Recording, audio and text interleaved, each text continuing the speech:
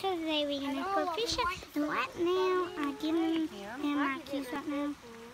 Yeah, I hope he does. me too. Be quiet, the a blue video. Let's see if you get one, Mikey.